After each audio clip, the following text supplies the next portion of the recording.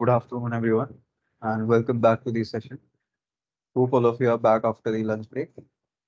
So, guys, before the lunch break, we covered two labs. First lab was using a resource of the speech service, whereas second lab was using a resource of the vision service, right? Now, let's go ahead. Uh, I can hear a sound. I don't know whether it's from the laptop or outside my house. Okay. I guess it's from outside my house. Okay, anyways. Let's go ahead. So as I mentioned, guys, before the lunch break, we covered two labs. First lab was using a resource of the speech service. Second lab was using a resource of the vision service. I will continue with the resource of the vision service and try to see more labs. All right. So our third lab will be to build our own AI model. Okay, we'll be building our own AI model, but without using any code. So Azure does offer you that capability as well. Okay, so you will you will create your own AI vision model without any code whatsoever. You will not be required to line, uh, write even a single line of code. So this is this will be our third lab. We'll be creating our own AI vision model uh, without any code. What will be the purpose of it? Its purpose will be for image classification. So for example, let's say I have images of two animals, dogs and cats. And uh, if at all I show any image to my model, my model should rightly tell me whether this image of is of a dog or whether this image is of a cat. Or for example, let's say I have images of fruits. So let's say I have images of fruit uh, of three fruits, banana, apples, and oranges. So I will make my own AI model in such a way that in future, if I show uh, a fruit image to my AI model, it will be able to tell me whether that uh, image uh, has a banana in it or it has an apple in it, or it has an orange in it. Okay. So our third lab will be to build our own AI vision model, but without writing any piece of code. All right. So let's go ahead and uh, let's see how to do it over here. Up till now, if there are any doubts in your minds whatsoever, uh, you can paste your doubts in the chat and I'll be happy to answer those for you. All right. So moving forward, let's go ahead.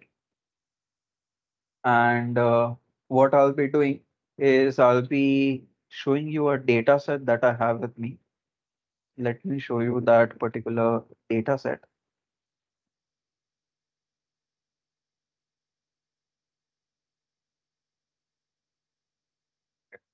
These are the two folders that I wanted.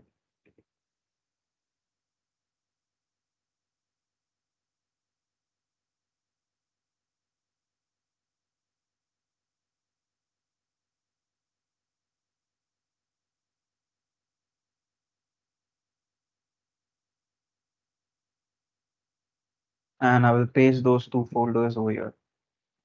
And let me organize this a bit. And after that, we'll continue our journey with the third lab.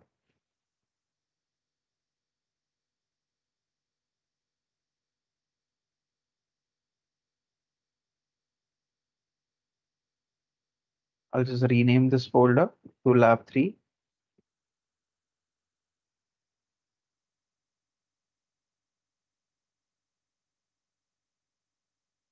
Okay, create another folder called lab two. And uh, whatever I did in lab two, right, all of the content of lab two, I will just send it to this folder. Okay, just for better arrangement, nothing else. Fine. So let's move forward. So guys, these are the images that I have with me. Let me walk you through those images. In total, I have 15 images. Uh, sorry, uh, my mistake.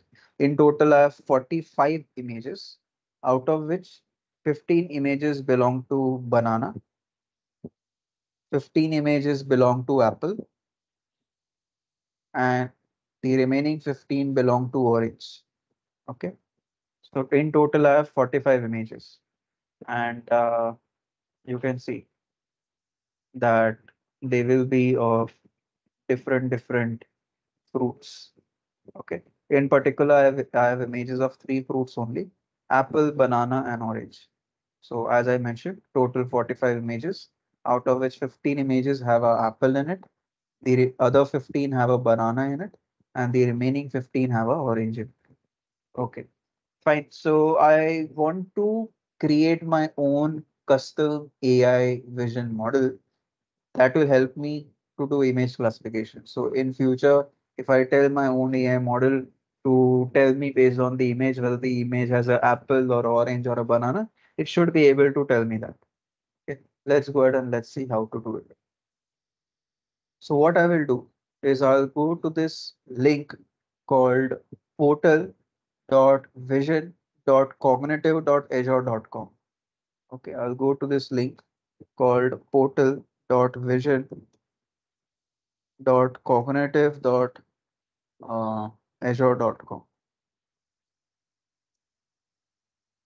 I'll just search for that link. Yes, here it is.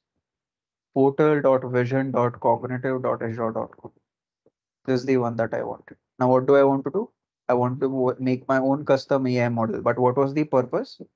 As I mentioned, my purpose is to uh, make my AI model for image classification, right? So over here, I'll go ahead and I'll select this option that I want to make my own custom AI model for image classification. So let me start a project based on that. And we had created a resource in the morning, right? It was called test multi-resource. I'll go ahead and I will select that resource. Now what I will do is I'll add a new data set over here. So what will be my data set? Those 45 images, right? Uh, based on those 45 images, I will train my own custom AI vision model. Fine. So let me go ahead, let me give a name uh, to my data set. I'll call it training images. I want to make my own custom AI vision model for image classification. Uh, have I uploaded my data onto a resource called uh, storage container in Azure? No, I have not. So I'll have to do one thing. I'll have to go back to my Azure portal and I'll try to create a resource called storage account resource. And my images, I will try to upload over there. Let me go ahead. Let me upload my images over there. I'll, but before that, I'll try to create this resource called storage account resource.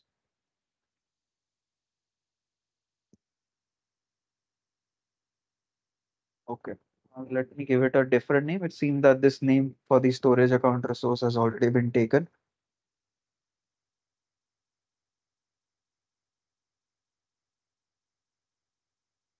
It seems that this name is good enough, so fine.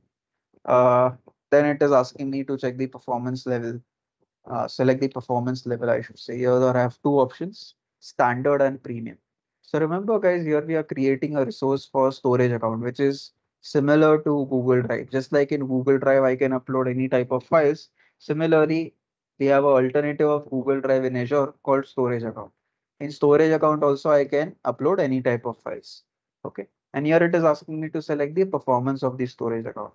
Uh, with standard uh, tier, uh, you will get slightly higher latency as compared to premium tier. Okay. With premium tier, uh, if you choose premium tier, then uh, performing read and write operations on the storage account will be even faster. But uh, obviously that will be slightly on the expensive side. It will not be that much expensive, but as compared to standard tier, obviously premium is slightly expensive. So I'll stick to standard only. Okay. Then it is asking me to select the redundancy level.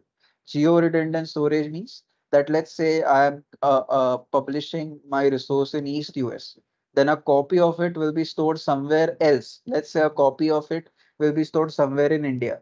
So that let's say if any of these, uh, if all of the Azure servers in East US get damaged because of whatever reason, let's say due to a natural calamity, all of the servers of Azure in East US get damaged. At least you have the backup of the resources that were uploaded over there, right? So you had a backup somewhere in India. So at least whatever uh, the user uh, is whatever uh, user is uh, uh, whatever work the user is performing, that work won't get lost. Okay, just for backup purposes. However, geo, geo redundant storage is uh, expensive. What I want is uh, I want locally redundant storage. It's the least expensive option. With that, what will happen is uh, if you are uploading, if you are uploading a resource in East US, a copy of it will be created in East US only. It will not be created in another geographical region. Okay, it will be created locally. Obviously, there are uh, disadvantages of the same, but it's the least expensive option. So we'll stick to that. And uh, uh, all the other settings like networking settings, data protection settings, encryption settings, I'll keep default and I'll directly jump to review plus create. Let me directly jump to review plus create over here. Azure will run the will do a final validation to check whether it can give me what I'm asking for or not. And the validation is successful. So Azure at last gives me an option to create the storage account resource. So let me click on the create button. And with that, the storage account resource will be created over here. So my storage account resource will be created. And it will take around two minutes or so for it to get created. So we'll have to wait till then. Uh, Deepak says share today's live session recording after completing the session on WhatsApp. So Deepak, uh, all of our uh, recordings of the webinars are uploaded on our YouTube channel. So Synergetics YouTube channel. Okay. Uh, you can get the recordings from there. Although if you're asking it, asking, uh, send it on WhatsApp, I'll ask with my team if they can send you the link of the same on WhatsApp as well. But if at all they forget uh, to send you the link, it's always available. The recording is always available on the Synergetics YouTube channel. Okay, now let's go ahead. Uh, let me go to the storage account resource that I created. And uh, what I will do is I will try to upload the 45 images that I had with me, right? So let me go to the container section. Container is nothing but a folder, you can say. Okay, in simple words, you can understand it as a folder that will contain the files. So let me create a folder or in other words, let me create a container. Let me give it a name called fruits. So I've created a folder called fruits. I'll wait for it to get created fully. And the folder has been created. I'll go into that folder and inside that folder, I will upload all the image files that I have. Let me upload the same.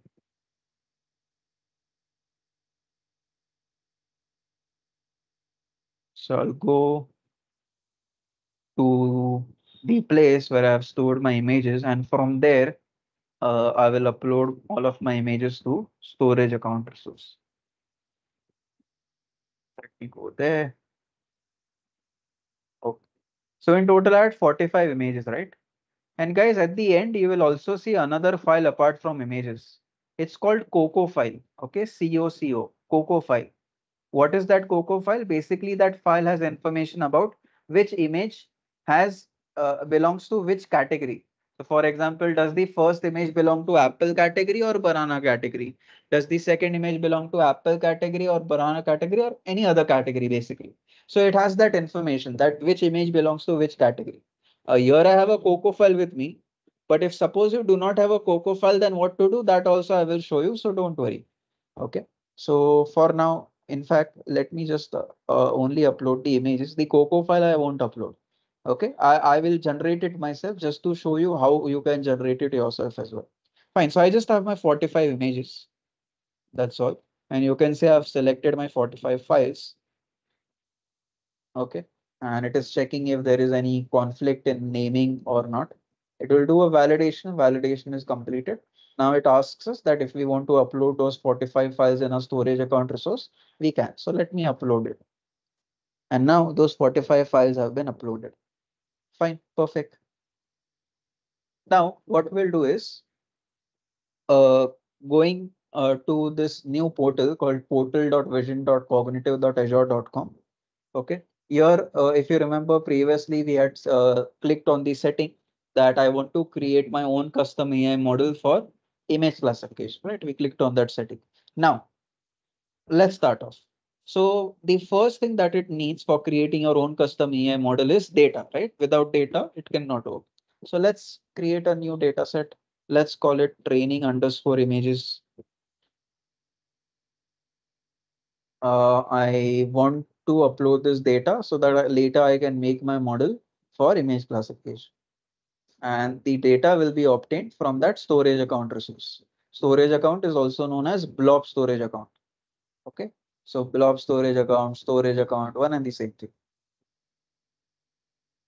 All right. And inside my storage account resource, I had created a container or I had created a folder called fruits. And inside that folder, I have all my files. Fine. So from that place, it will get all the data so that later we can go ahead and uh, make our own custom AI vision model for image classification. Fine. So first it needs a COCO file. So I've uploaded the 45 images. Now it needs a COCO file. Okay.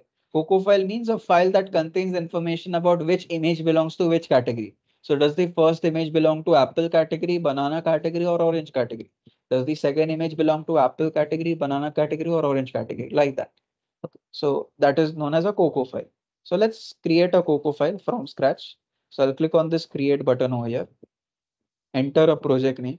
I will say COCO file making.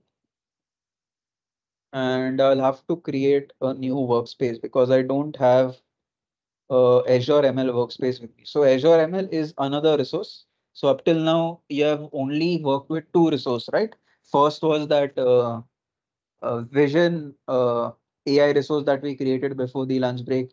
Second was this storage account resource.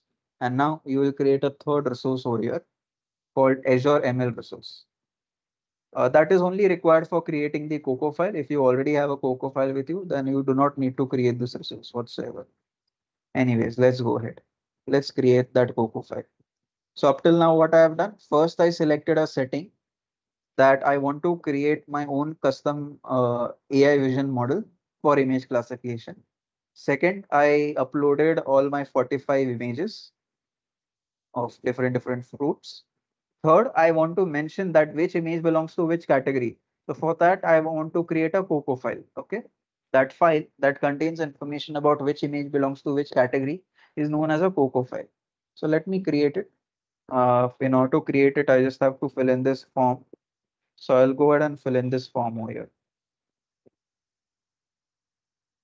Fine. Rest of the settings I'll keep the same. Region I'll keep the same. Uh, the Azure ML resource is automatically connected to a storage account. Here it's creating a new storage account and connecting over there. But anyways, that new storage account will be of no use for me. I won't be doing anything over there. But as a rule, it's required. So fine, let, let it create uh, uh, another storage account. Mean, for us, it will be of no use. Second, Key Vault. So Azure ML resource makes sure that all of your keys and the other required credentials are stored securely uh, using Key Vault.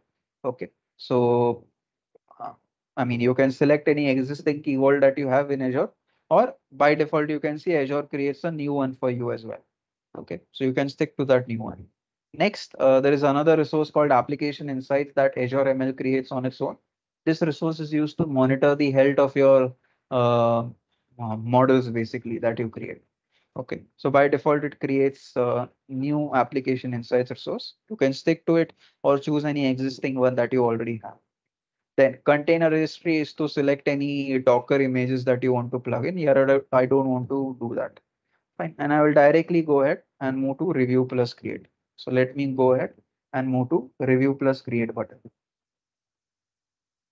And while this is doing the validation, let me answer some of the doubts that you guys have posted in the chat.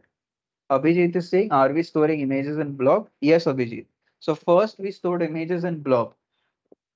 Or it's also, so blob storage account or storage account, one in the same thing. Okay. So we are storing our images over there. From that place, I got, uh, from that place, I'm getting the images inside my uh, resource that I create. Okay, which resource I created? If you remember, I created that AI uh, vision resource before the lunch break. Same resource I'm using over here. So first I uploaded my images over there into my blob storage account or into my storage account, which is one and the same thing. Once I did that, then those images I'm getting it over here into my resource. Okay, this uh, vision resource requires that, okay, if you are trying to import any uh, images or if you're trying to import any files, first those files should be uh, uh, uploaded onto storage account. Only from there you can get it inside your vision resource. Okay, so we did that. So our images have been obtained inside our vision resource. Now, how do we know which images belong to which category? For that, we need to create a COCO file. And here we are creating a COCO file. Okay, so let's go ahead and let's see how to do this thing. So Soumitra says, how much cost did you incur for the labs? Uh, Soumitra, I don't think uh, more than 50 rupees. I don't think so. I'll have to check. Okay, we'll do that check. Uh, so at the end, what we'll do is we'll go to our resource group and we will see that all the resources that we created today, cumulatively, what was the cost? Okay, so we'll have to see. Uh, it's very simple. It will hardly take a few seconds. Uh, but if, if you want me to assume, I would say not more than 50 rupees. But still, we'll do that validation at the end. Okay, so that you know the exact figure. Uh, did you uh, no, Soumitra. We directly jump to review plus create because all the identity settings, networking settings, we wanted to keep it default. Okay. And uh, so we directly jump to review plus create. You didn't miss it. Okay. So what did we do up till now? First, we uploaded all of our uh, 45 images onto storage account. Then those images, we got it to our uh, vision resource that we created right? Because that vision resource will do the actual uh, work. And what work we want to do? We wanted to create our own custom AI model for, for image classification. So fine, that uh, vision resource got the images, but how will it know which image belongs to which category? For that, it needs a COCO file. So here we are creating a COCO file. Fine. So let us create a COCO file. We'll go ahead and we'll try to create a COCO file over here.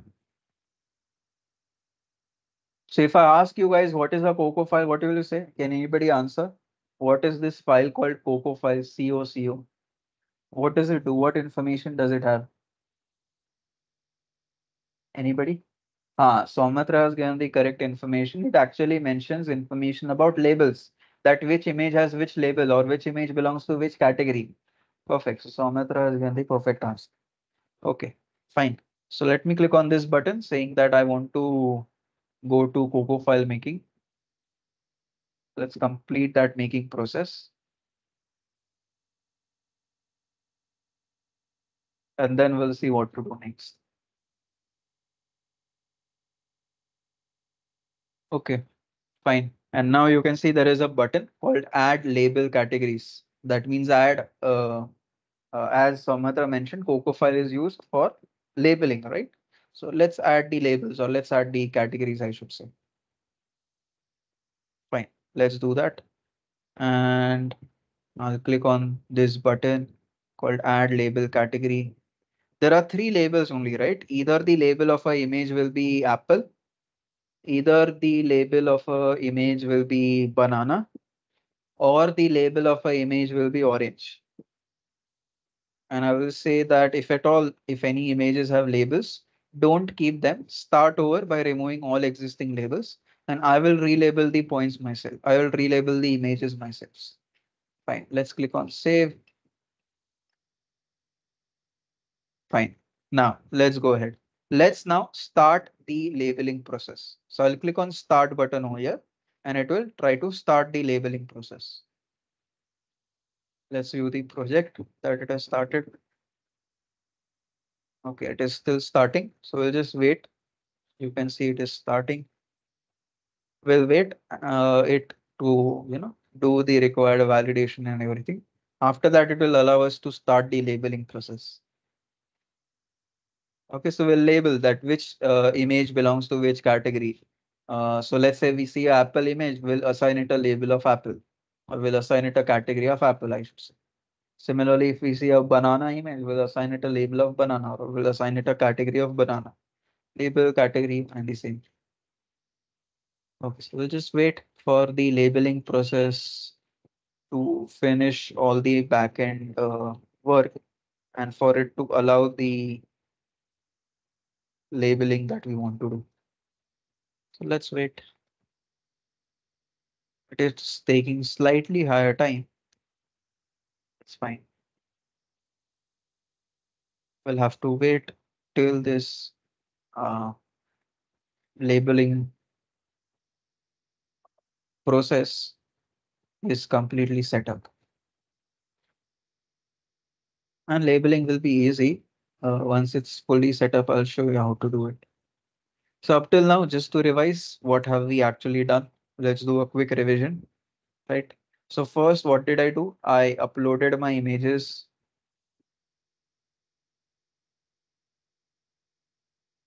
to your blob storage account, also known as storage account, right? Storage account or blob storage account, one and the same thing. After that, from there, you copied the images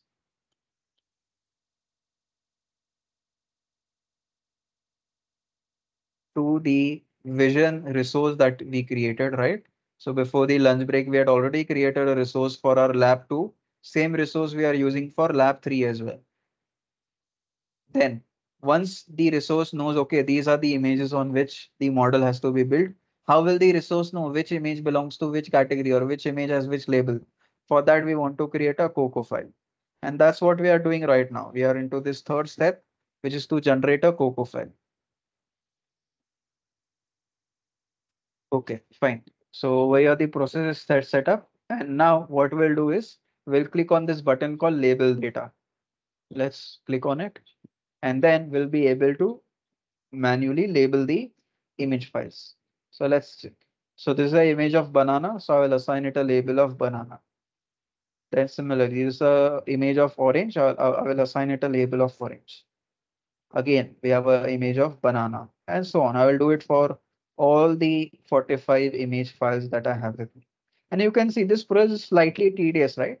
That's why when you will practice the labs from Microsoft, Microsoft will already give you uh, the Coco file generated. Okay, you won't have you don't have to generate the Coco file. I already showed you right in my folder that I downloaded from Microsoft. Uh, I already had the Coco file with me. I already had the Coco file with me, right? Uh, but then I decided to show you that in case you want to generate your own Coco file, you don't want to rely on Microsoft because in real world, Microsoft won't give you Coco files for every project, right? In real world, if you want to create your own Coco file, then how you do it. Fine. So let's see over here. I'll just complete the labeling process. We'll see what to do next. almost 12 images I have labeled around 32 more. Okay, 13 images I have labeled, 32 more to go. Fine, let's complete the process. And because this uh, process is slightly tedious, as I mentioned, Microsoft has already given the COCO file to you for this particular lab that we are seeing. I've already downloaded uh, you know, all of this data, including Coco file and everything from Microsoft. So for practicing, Microsoft makes sure if at all it is a tedious process, then some things it will make it available to you. Okay, so you don't have to work more. So let's complete the labeling process over here. Abhijit says, can we use a to utility like image generator class? where we can keep label data. Image generator class, how will it be used to assign labels? Image generator class is not for assigning labels, nobody. Any uh, other, I guess you wanted to communicate something else. Huh, label data is already there. Huh, then it's fine. Same label data is there. If you already have the COCO file, here COCO file needs to be there. Okay, any other way of labeling won't work, buddy, here on this particular tool. So COCO file has to be there. No other way of labeling would work. Like you would have normally done it in TensorFlow, right? In TensorFlow, we don't have to generate this Coco file. There is another way to store the labels, right? Uh, but here, buddy, we you have to generate Coco file only, nothing apart from Coco file viewer. Okay.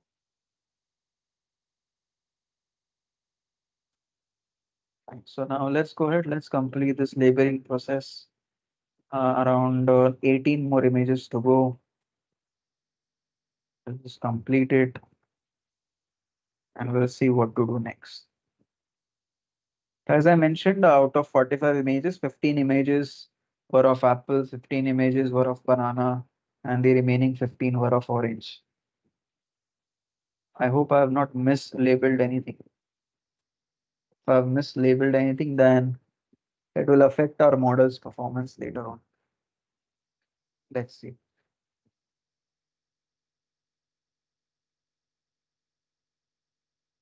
Almost four images more to go.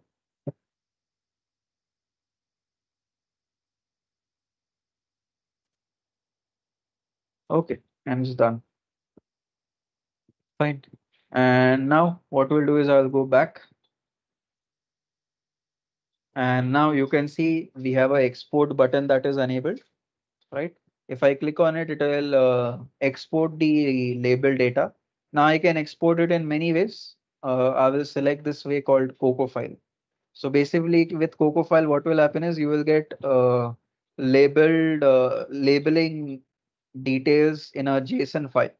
Okay, so if you get labeling details in a JSON file, that is known as a Coco file basically. Fine, uh, let's go ahead and let's try to download the Coco file. I'll click on the button called download Coco file. And fine, my Coco file has been downloaded. And have a look at what information is stored. I'll start from the end. So it says that there are three categories uh, category one is apple, category two is banana, category three is orange. So you see the last image has a category of one. That means it belongs to apple category, right? Category of one is apple category. Second last image also has category of one, so apple category. Third last image has a category of three. That means orange category and so on. Like this for all the 45 images. Okay. So basically it, it's, it has this information over here as to what are the images, what is the category of images, okay, and so on. Fine. So it has this uh, labeling information. All right, we have this. Now, what I will do is uh, I have generated my Coco file, so let me add it. I will say import Coco file from that Azure ML resource that I created. So let's do it my Coco file name will be test Coco subscription. Let me choose it. Fine, everything else is fine. All right, let's import that Coco file. And we'll be almost done. All right. All right. Uh, so we have uploaded our 45 images and we also have information about which image belongs to which category. That means we have the Coco file with us also. Fine, these two things we needed. The uh, images which will act as features and the labels which will act as target. Okay, fine. Now what we'll do is we'll go ahead and we'll move to this section called custom models and we'll try to create our own custom AI vision model. So let's do it and let me enter a name I'll call it a custom fruit classification. Uh, I'm creating this model for image classification. So let me select that option. Uh, these will be the images for my training data set, right? Those 45 images that I uploaded. For testing, I won't select anything. For testing, I'll keep it, keep it empty only. I won't select this. For testing, I have a different data set that I'll show to you later on. Fine. Uh, the training budget, uh, I'll keep it to one hour only. See, the more you train your model, the better your performance, the, the better the model's performance will be, right? So for example, today I'm training you for let's say six to seven hours. So that's fine. But let's say if I train you for 60 hours, you will be even better. Your performance will be even better, right? So just like that, uh, the more uh, training you do on your model, the better the performance is usually. Fine. But uh, here, since I don't want to incur more cost, I'll select the minimum bu- training budget of one hour. Okay. Fine. Uh, now let's go ahead. Uh, so this is the maximum time uh, your uh, training will take. I'm saying maximum within one hour, complete the training. Now within one hour, it could it could complete training in five minutes also, 10 minutes also, 59 minutes also. But I'm saying maximum will be one hour. Okay. Fine. Now let's go ahead. Uh, let's train our model. And this will take around 15 minutes or so to complete the training. Okay, so we'll have to wait till then. And uh, after the training is complete, I will test my custom AI model and we'll see how it works. So up till now, guys, today what we have done, uh, first was we try to use a resource of speech service, right, in order to perform speech translation. Second thing that we did was we tried to use a resource of vision service and we tried to analyze the images. And in both the labs, we didn't create our own model. It's just that we use the AI models that Azure created. Right now, uh, the third lab uh, was to create our own custom AI model using the vision resource for image classification or image classification.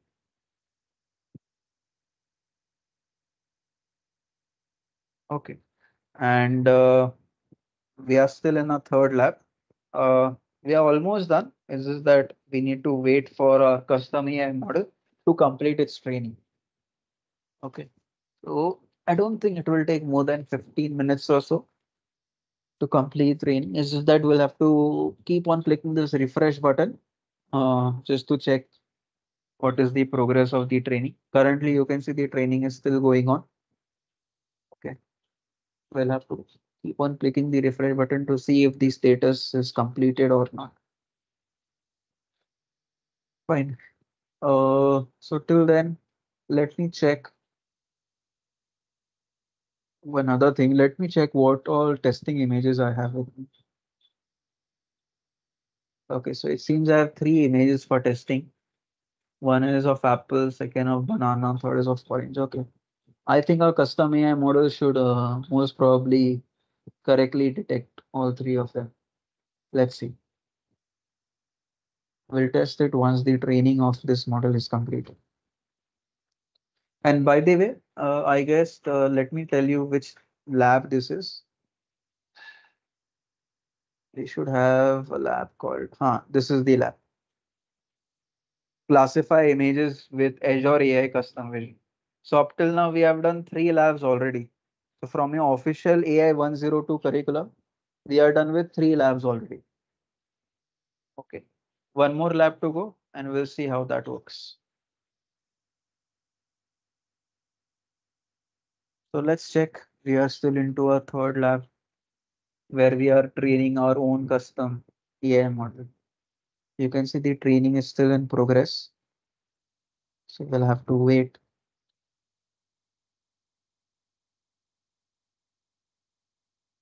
Let's wait for a few minutes.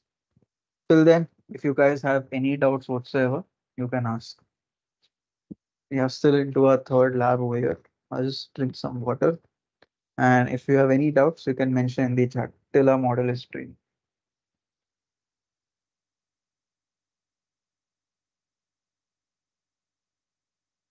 Okay, Abhijit says, what could happen if we try to test any other similar fruit like sweet lime similar to orange?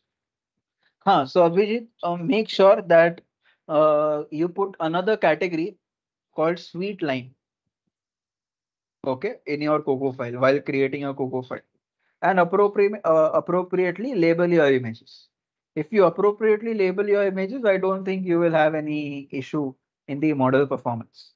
But let's say in training, uh, while the images that you uploaded and the Coco file that you have uh, made, let's say there you did a mistake while assigning a label. Let's say it was actually a orange, but you labeled it as sweet lime. So obviously while testing the model, then it would have issues. Okay. So here what it will do, buddy, is uh, here I just have three categories, right? Orange, uh, banana and apple. So if, if it sees a fruit similar to orange, it could be sweet lime or uh, any other thing. If it sees something similar to orange, it will call it orange. Okay. But you want that, okay, uh, it should not get confused between orange and sweet lime because they seem similar. So do one thing, introduce a, fo introduce a fourth category called sweet lime. Okay. And train your custom uh, AI model. You can do that in your free time. Okay. That's why these labs are good. Soumitra says, can you use different accuracy scoring than provided by Azure? Can we train any open source model? We okay, we train any open source model also using this service. Huh, okay. Uh, so using this vision service, we cannot, Soumitra. But we have another service called Azure ML service. Okay. There you can train even uh, there there is even more customization provided to you. Okay, but the thing over there is you will only be able to train your uh, machine learning models over there. Okay, so there is another service called Azure ML service. There are more customi customization is there. Here you can see, uh, here you cannot uh, include your own open source model over here in this third lab.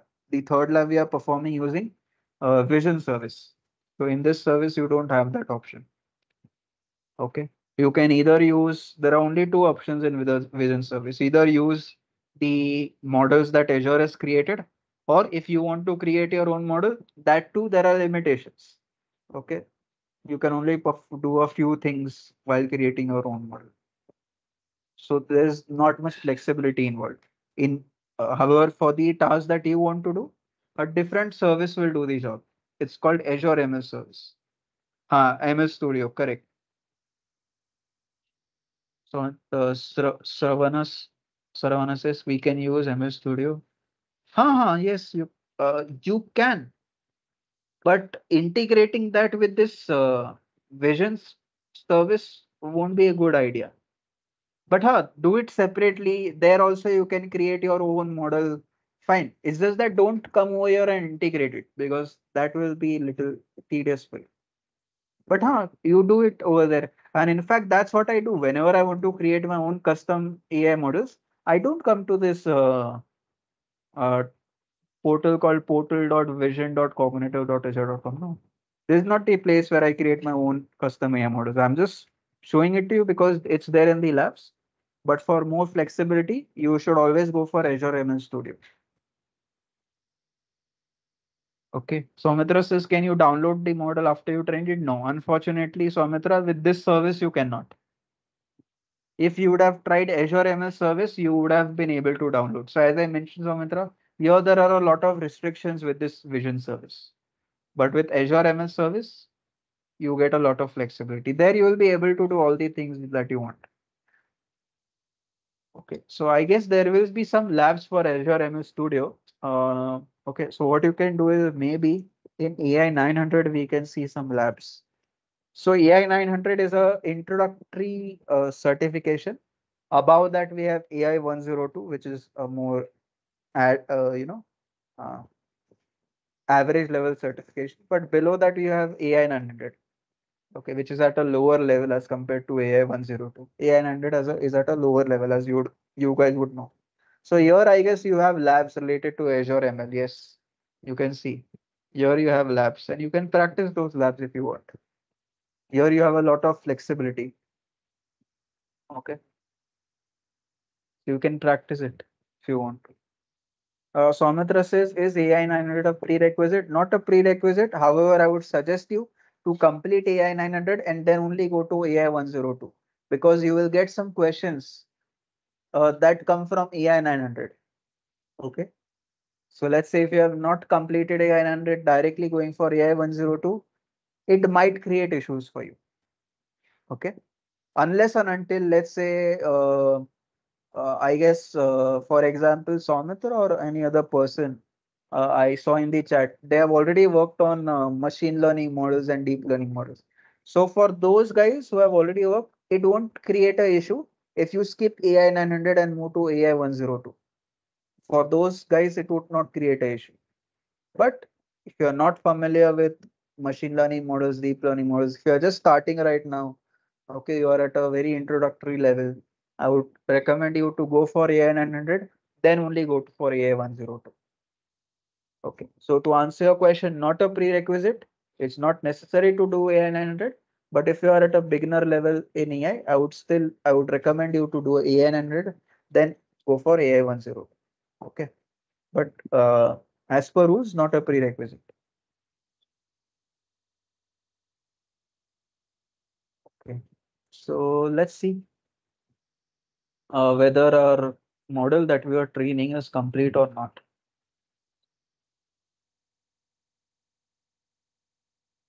Let's see these data. So, okay, still training. Still training now, so that's fine.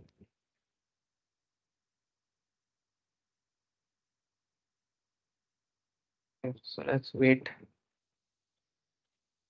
Okay, so are, are you guys uh, freshers or uh, like are you already working in some company? So like what is the uh, level of students? I just wanted to know.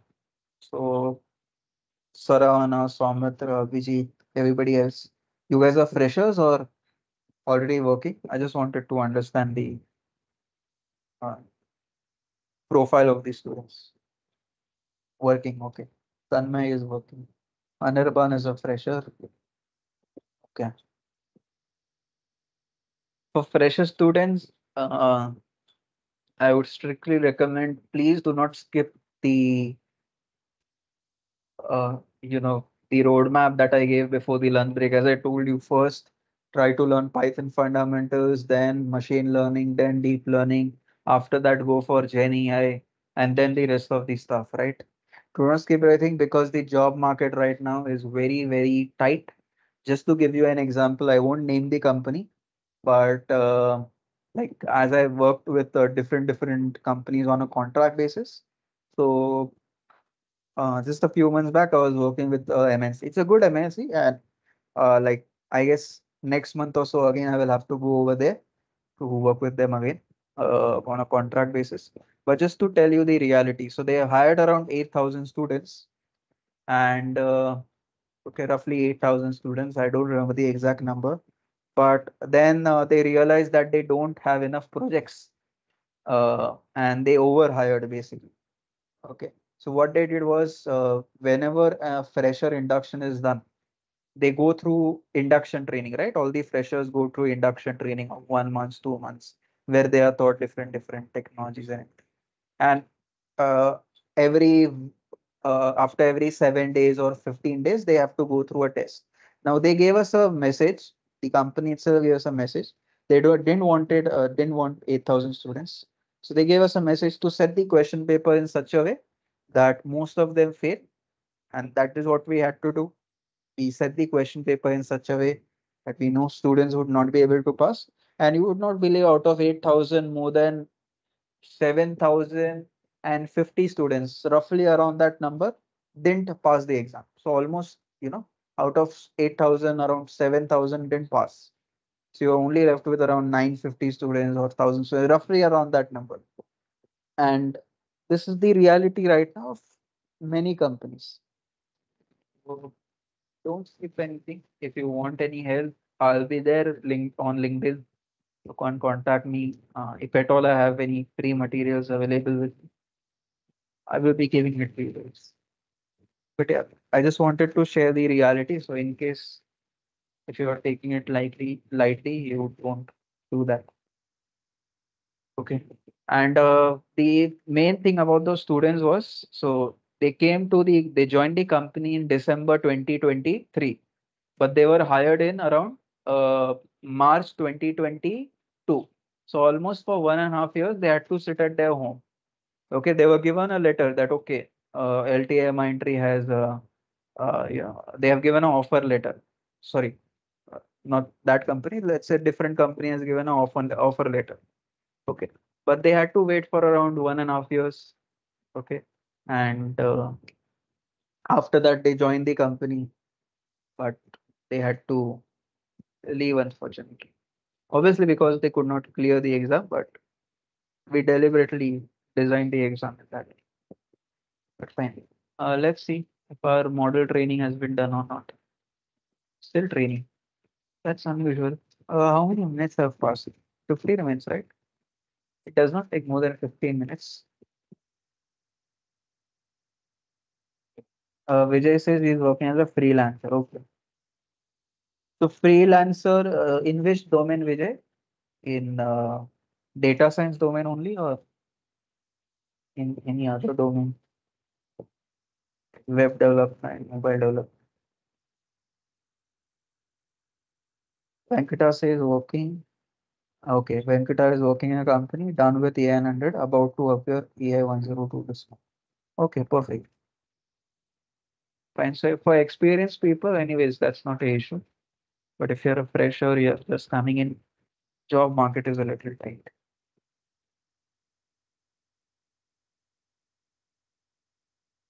Let's see whether training is complete. No, still not completed. Unusual. Okay, taking some time. So what we'll do is uh, let's do one thing. Okay, uh, so guys, just a note. Uh, around 4:30 or so, uh, you know, I will hand over the session to uh, RG, who will give you a link so that you can attempt a mock test. Okay, it will have questions covering the overall curriculum of AI 102. It's just a mock test, nothing else. It will help you to know where you stand currently. Okay. So at 4:30, around 4:30 or so, I'll hand over the session to RG. That is uh, letting you know the schedule. Let me refresh it once again. Okay, it's taking time. So what we can do is anyways, we have to take a tea break, right, in the middle. So let's take a tea break now only instead of just waiting. Okay, it won't be beneficial to any one of us. So let's take a tea break now. Uh, meanwhile, I hope within the tea break, the training will complete. Okay. And we'll see what to do next. Sir, honor says your LinkedIn profile. Okay, my LinkedIn profile. Okay. Let me share my LinkedIn profile. I'll share the link later with you guys. However, on uh, LinkedIn, you can just search Smith Shah Synergetics. Okay, so this is my uh, LinkedIn ID. Smith Shah Synergetics. Okay, so you can connect with me over here. I'll share the link uh, at the end later on. But for now, you can just search Shah Synergetics. I'll just come up in the search results. Okay, fine. So let's take a short uh, and guys, uh, uh, uh, before making the break announcement, in case in future you have you want any materials or anything, usually I have free materials available with me, so you can reach out to me on LinkedIn. Okay, and uh, let's say any dumps or anything, if I have it with me, I will definitely share it with you guys. But fine. Anyways, let's take a short tea break because training of our model is still going on. Instead of just waiting, you know, and wasting our time, it will be better if we take a tea break. Okay, it's still training. Fine. So let's take a tea break of around 16 minutes, 15, 16 minutes. After that, we'll be back. Till then, I'll just keep my mic on mute.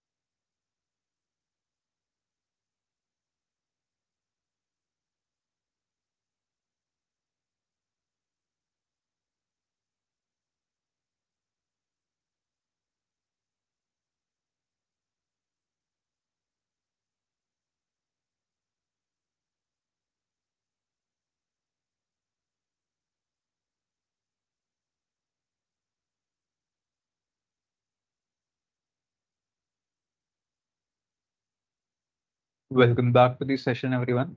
Hope all of you are back after the short break. So, guys, just before the break, we were into our lab number three, where we were trying to create our own custom AI model for image classification. And we had made sure to start the training for our custom model. Let's see if the training is now completed or not. Why is it still training? This strange. Usually the training does get completed in 15 minutes, but fine. What we'll do is to not waste more time. Uh, we'll move on to lab number four. We'll come back to lab number three later on because only the testing part is left in, in lab number three. Uh, nothing else is left. Uh, so we'll move on to lab number four now. So let's go ahead. And now we'll stick to vision service only. And within vision service, we'll try to understand how we can read text inside of images. Okay, so let's have some images in which, in which some text is written. How can you detect that particular text? Okay, so again, this comes under vision service only. All right, so let's go ahead and let's see how to do it. So in order to do it, what would you need to do? Uh, let's go ahead and let's understand. So first of all, I will get some images wherein I have some kind of text written in it. Let me get those images.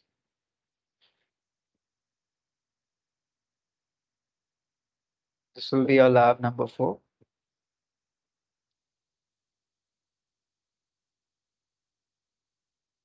All right, and let me show you those images. So for example, we have this image in which some text is written. Similarly, we have this second image over here in which some text is written. So I'll be showing you that irrespective of whether the text is typed by the computer or whether the text is handwritten, still our AI model will be able to detect the text on that image. Okay, let's see how to do it. So over here, I'll go ahead and uh, open up my uh, Visual Studio Code. Let's go ahead and do that.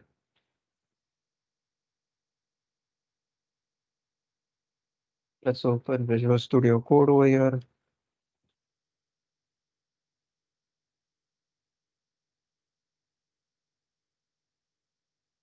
Okay, and here we go. So let me create a new Python file. I'll create a new Python file over here. I'll name it test.py. And let's start off. So uh, what are we trying to do in our lab number four? In our lab number four, we are continuing with the vision service. However, there's slight change over here. So what we are going to do over here is apart from continuing with the vision service, so with the vision service, what we'll do is we'll try to recognize text that are written in images. Okay, so let's go ahead and let's see how to do it.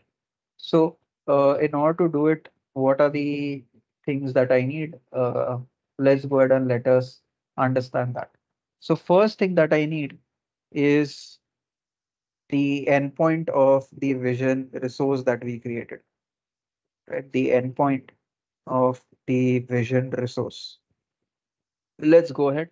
Let's get that endpoint from our Azure portal. So we did create a vision resource. So within our resource group, you can see we have created a vision resource. Let's go ahead and check our vision resource. Here it is. Okay, let me go to keys and endpoint section. From there, I will get the endpoint first of all. Copy the endpoint and paste it in my code. The second thing that I'll do is I'll get the key. Okay, to that particular resource. There are two keys. You can use any one of them as you guys. So there is the key to my resource. Fine. Now what I'll do is using these two things, I'll gain access to the resource that I created. Okay. Uh, so if uh, if you're observing over here, guys, for lab two, lab three, and lab four, we are using the same exact resource. resource is not changing, right? Fine, let's go ahead. Uh, now what I want to do is I want to gain access to the resource using the endpoint and the key. So in order to do it, I'll need help of a class which I will import. So from Azure folder, there is another subfolder called AI. Inside that subfolder, I have another subfolder called vision. Inside it, I have a file called image analysis. And from that file, I will try to import this class called image analysis client. Fine. So let me go ahead and let me call that class. Now the first thing that I will do is I'll pass the endpoint of my resource. That is the first thing that I would do. And the second thing that I will do is I'll pass the credential to my resource. That means the key to my resource. All right, fine. Now let's go ahead. With this, what will happen is I will establish a connection to the resource.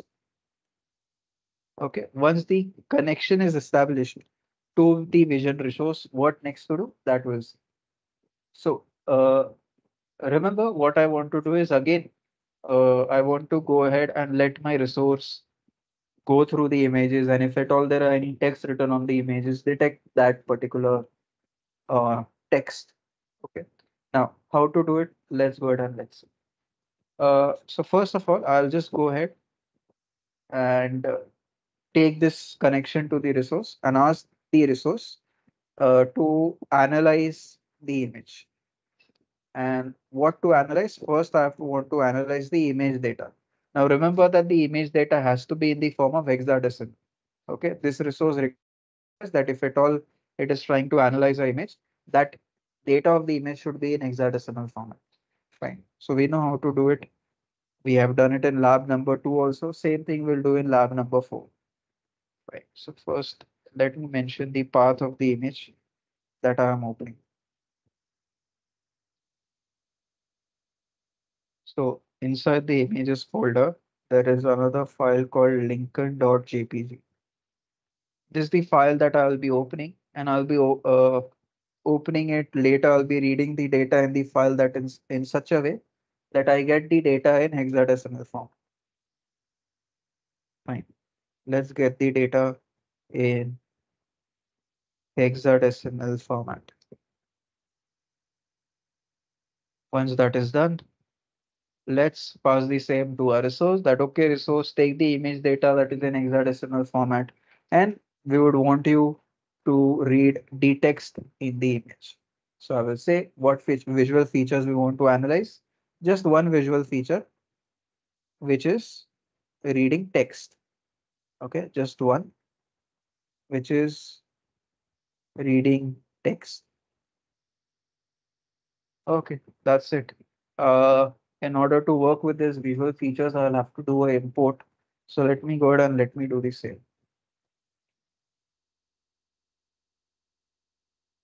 I'll just go ahead so and do the import over here. So if you are observing same imports we did in lab number two also, same imports we are doing now as well.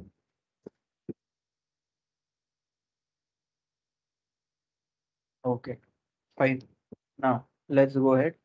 I hope uh, I'm not doing a mistake as such. I don't think so. Fine, if at all there's a mistake, we'll see how to deal with it later. Okay, uh, there's one thing that I missed out, which is that while passing my credential, I cannot pass my key as it is. I have to pass it with the help of a function. So first I'll have to import that function. From Azure folder, there is a folder called uh, core. Inside that folder, I have another file called credentials. And inside that file, from that file, I will import this function called Azure key credential. I call this function and inside it I will pass my key. Okay, this is much better. All right, fine. So what I have done first, I have established a connection to the vision resource. Then using that connection, I have asked the vision resource that, okay, take the image data, which is in hexadecimal format. And on that uh, image, try to read the text inside of it. Okay, and it will go ahead and it will do that for us. We'll get the results Let's go ahead and let's print the results and let's see what we get. So we'll go ahead and we'll print the results.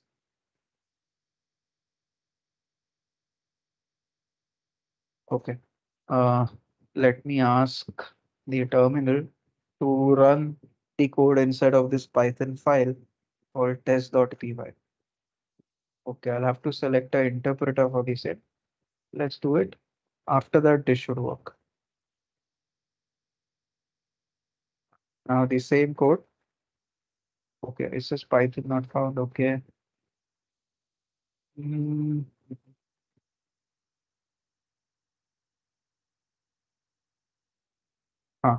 Okay, fine. Uh, the code ran, but it gave an error. Let's try to uh, solve that error over here.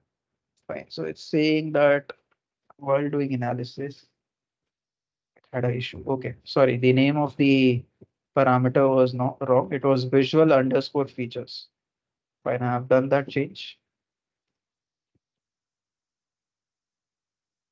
Now let's see what happens. Okay, and I'm getting the analysis results. So it has detected text inside of the image. Okay, so first what it has done is uh, it has got the text that is there across every line. So for example, inside the first line, we have this text called in this temple. Now within that line, you have different different words. So within that line, it has obtained information about different different words. So first one is in, second word is this, third word is temple, right? Then you had the second line. So second line, the text was as in the hearts of the people. Within this line, the first word was as. So you will have information about it, right?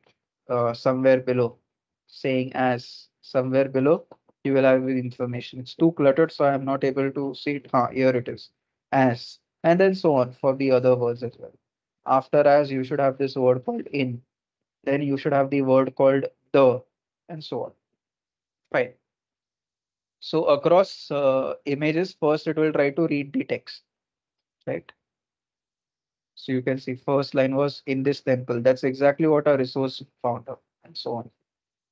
Okay, fine. So what I will do is, uh, I want to get the results. Okay, so in my results, I'm getting text related information. I want to get the text related information across every lines. So let me go ahead and let me show that to you. So let me check what uh, text blocks it has read. If I run my code, you can see the result is obtained in the form of a list. Now in this list, I just have one element, which is this entire dictionary. The entire dictionary from year up till year is forming as one element inside that list. In order to go inside that element, how to do it? How to subset the first element of a list using index. Guys, any Python developer would help me? How to subset the first element of a list?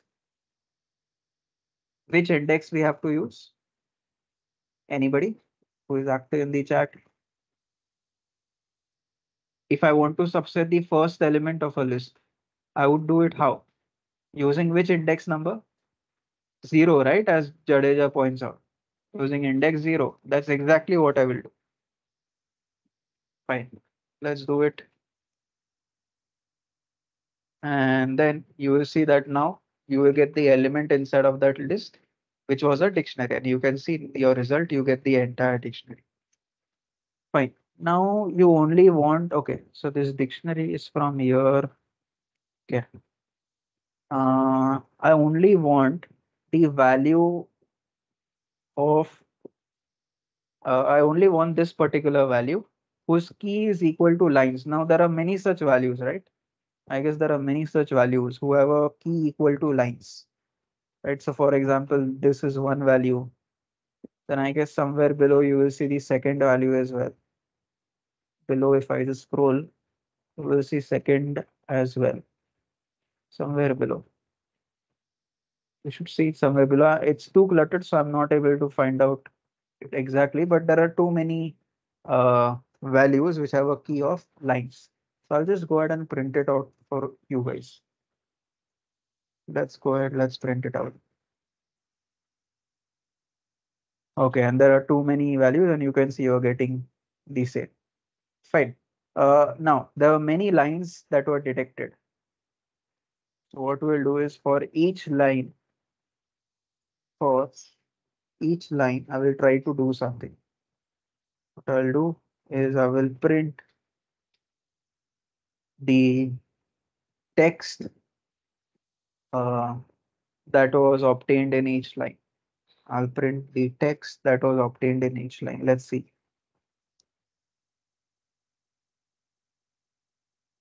So in the first line, the text was in this temple. In the second line, it was as in the hearts of the people. The third line, it was for whom he saved the union.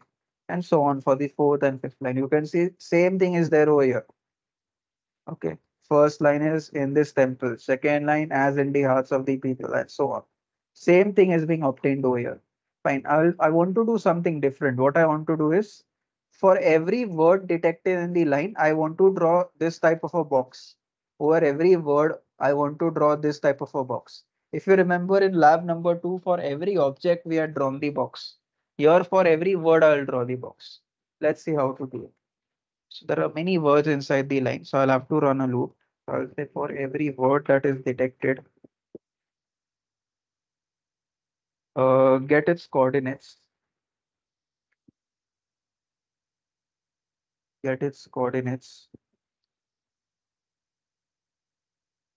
Just like we did in the second lab, if you guys remember. And using those coordinates, I'll have to make my own coordinates over here. Okay, let me print it out. Exactly what coordinates are we getting for every word?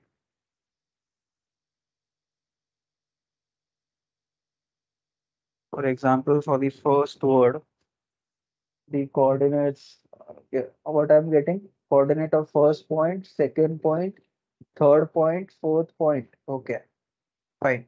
That will make it easy to make a rectangle, right? I have the four points ready with me. Perfect. So box coordinates are already there with. So I'll say box coordinates equal to there'll be four points, right? In the first point, it will be what? X value will be 328, Y value will be 171 right? So I will just say for the first point, you will get value inside the first dictionary. Now in the list, if you want to get the first value, right? So for example, this first dictionary is acting as the first value of the list. Second value is this, third value is this, fourth value is this. Now I want to get the first value, this one. Uh, in order to do it, you will have to use index zero, as Jadeja has already pointed out. Now, once you get that first value, within the first value, you want to get the x axis coordinate. In order to get it, you will have to use the key of that uh, uh, value. The key of the value 328 is this string called x. So I'll just go ahead and mention that string called x. Fine. Similarly, I will obtain the y-axis coordinate as well. Let's obtain the y-axis coordinate as well. And similarly, I'll do it for the second point. Then the third point, and then the fourth point. Okay, perfect. Box coordinates are drawn. Now what I will do is I want to draw something. If I want to draw something, I should do similar to what I did in lab number two. Okay, if you remember in lab number two, I had drawn over the image. In order to draw over the image, I will have to use a class which I will import. So from PIL file, I will import this class called image. Then I'll try to use this class and using this class, uh, I'll try to call a method called open. I'll try to open the image that we are focusing on. Fine. Once the image is open, we'll try to make some drawings in it in order to make drawings, I will have to make a canvas. So let me go ahead and let me make a canvas over here. Uh, here I'm using pyplot files from matplotlib folder.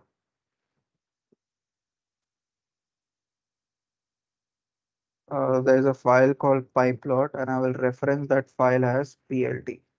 Now inside that file called pyplot, which is referenced as plt, I'll call this function called figure. And I'll say that my canvas size will be the same as the current image width and current image height. Current image width and current image height. Fine. Once the canvas is drawn, I'll be able to draw over the image. So I will say that going down the line, I'll perform some drawing. In order to perform some drawing, I will need the help of the class, which I will import. The name of the class is called image draw. So I'll just put a message in my code that going down the line, I'm going to draw over the image. Let me draw over the image over here. Fine, and it will remember it. All right, now let's go ahead. Later, I will say that for every word, please draw a polygon uh, whose coordinates are mentioned over here. Uh, the outline of the polygon will be of color, let's say cyan.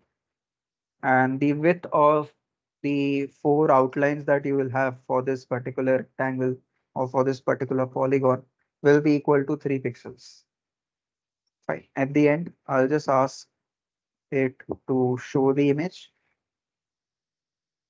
And I will show the image in such a way that I output it to a different file altogether. So I'll say my output file is equal to text.jpg. And at last, I will say that whatever I have drawn on the canvas, save it inside of a figure, sorry, uh, save it inside of a file called test.jpg. Fine, let's see what happens. Okay, here there is a issue in uh, the input. Let's correct that issue. After that, it should work. Let's see. Okay, here again, we are getting the same error that we encountered in lab number two. So the current uh, width of the image was, sorry, current actual width was 800. But while saving, it's getting convert, sorry, uh, actual width was 802 but while saving it is getting converted to 80,200, right? So it's getting multiplied by 100. So if I wanted to convert back to the original state, then I'll have to divide by 100 again. So I'll do it for the width. Similarly, I'll do it for the height. So same problem that we solved in lab number two, same we are solving over here as well. Same exact thing. Nothing is different. Okay, let's see now. Fine. And now hopefully we should have a new image where over every word I have drawn a, a rectangle or I have drawn this polygon. You can see it for every word I have done that. Fine. I'll make this uh, plotting even more perfect. Currently, I can see this vast uh, padding. Let me remove the padding. Okay, so I will just say to my code that please remove the padding and make it a tight layout. I'll say pad equal to zero. And have a look previously it it all uh, you can see there is a lot of padding. Okay now i will just uh, run the code again and have a look now. What happens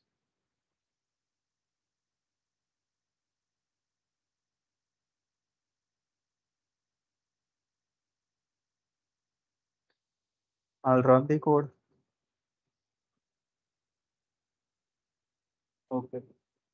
And let's have a look. You can see the pad padding has almost, uh, it's almost vanished. It's just that you can see these tick labels. Because of these tick labels, some white portion is still visible to you.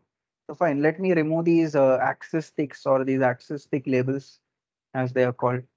So over here in my code, I will just say that while making the canvas, after making the canvas, make sure that the axis ticks are set to off.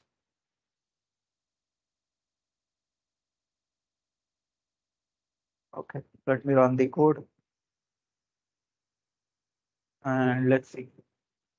And now you can see the result is even better. All right. With this, uh, our uh, fourth lab is completed of AI 102, which was to read text inside images. And this with this lab, you can test on various images. Let's say you want to read text on this uh, handwritten uh, list, right? Handwritten uh, text. And that handwritten text is shown in the image over here. You want to detect that handwritten text, you can even do that. Just change the image that you want to analyze. I have changed it and that's it. Now you will see that you can even detect uh, text uh, that is handwritten. Okay. So you can test with various various uh, images. I'll just go ahead and upload the code in the chat. Let me upload the code over here in the chat.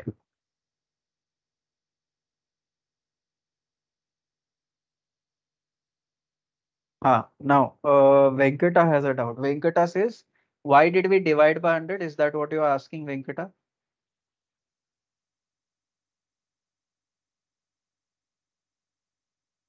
Is that what you're asking or something else?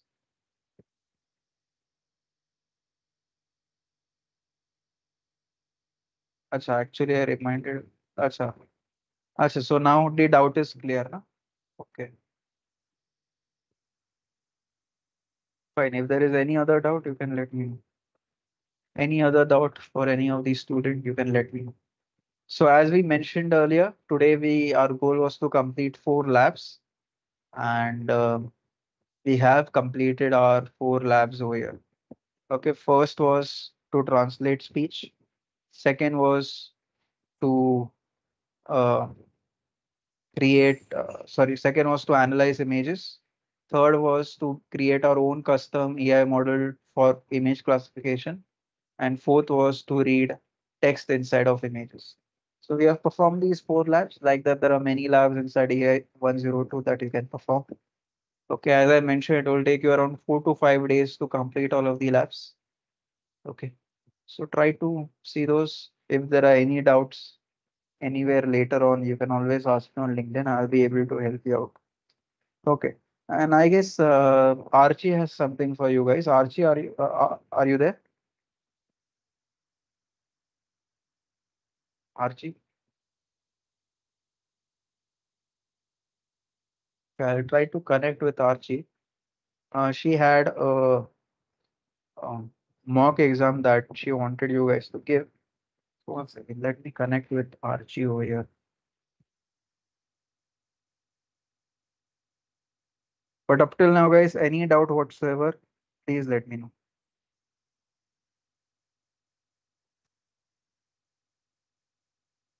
Uh, so I hope whatever four labs we completed were useful to you. Okay. Any doubts you can ask. Uh, Saravana says labs will have images as well. Yes, Saravana. So Saravana, for example, just to show you, uh, let's say I'm into this fourth lab. Okay.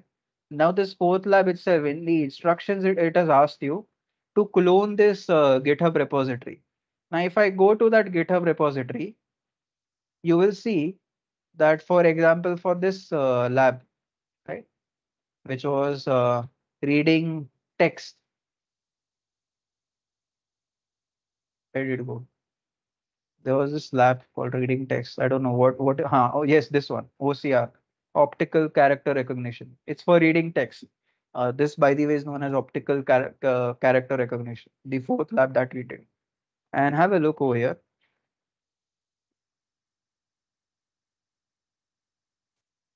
you can see all these images are given to you. Okay.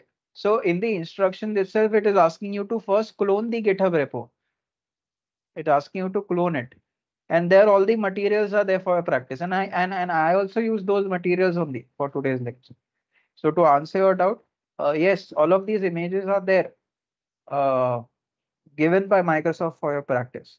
But if you want to practice on your own images, you can do that as well. But Microsoft also provides you some images that you can work on. Okay, I hope that solved your doubt. If there were anything else, you can ask. Vijay says, can you please share us link for the text speech? Acha. Uh, acha, haan, that page, okay. Uh, are you asking for that uh, voice code page where I was able to see the voice codes like Henry Neural? Acha. Uh -huh, okay. Okay, let me share. Uh, Henry Neural. Sure okay and I'll share the link with you Okay, here it is. So all you have to do, buddy, is uh, click on this tab called text to speech. I'll give you the link. Then click on this tab tab called text to speech, and then you will see the voice codes for every language, for speech in every language. Let me give it to you in the chat.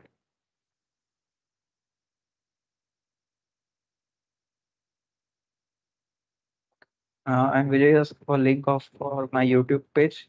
Okay, uh, so Synergetics has its own YouTube channel. I personally do not, but yes, Synergetics has their own YouTube channel.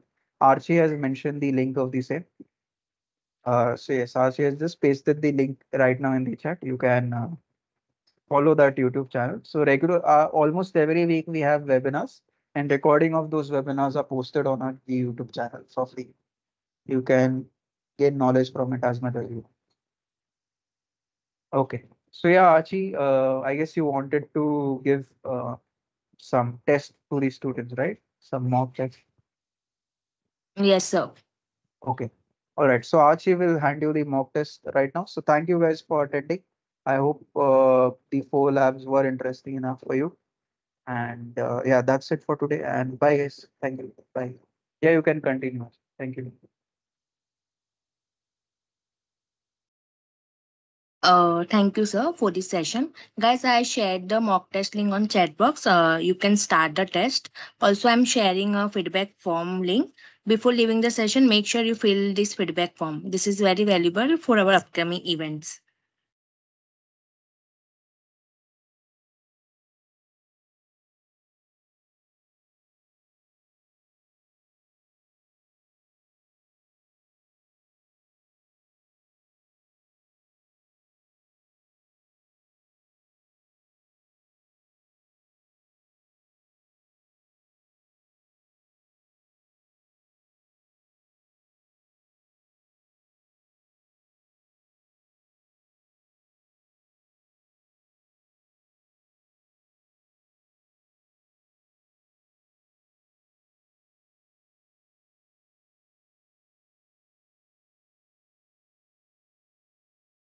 Guys, first you fill the feedback form. After that, you can start the test.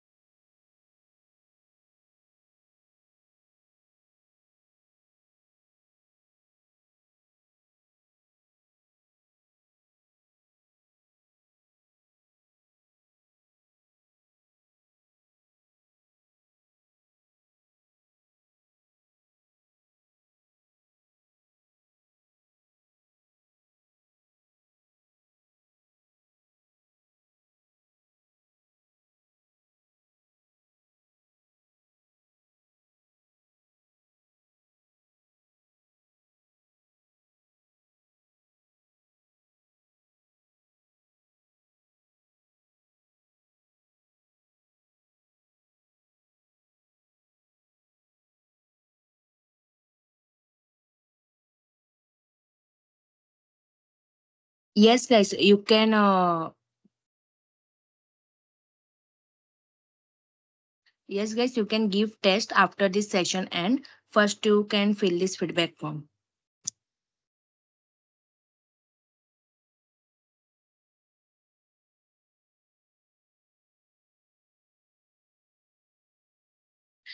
Still, anyone remaining for the feedback form, please make sure you will fill this feedback form before leaving the session.